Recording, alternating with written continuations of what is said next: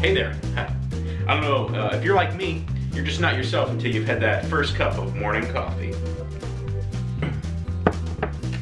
Wow, that's a robust cup of coffee there. Uh, the way you know you have a nice, robust cup of coffee, that they use the nice full beans when they roasted them, uh, you get yourself a napkin like this and uh, introduce it to just a little bit of darkness. That's all it takes is just a little bit of darkness and you can actually get the beans to go back to normal. That's right.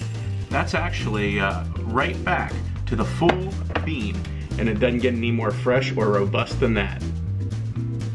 Thank you so much for watching. If you enjoyed this video, make sure to give me a thumbs up and comment down below. Let me know how I'm doing.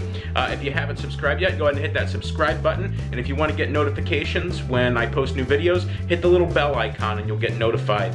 Thanks so much for watching. I appreciate the support.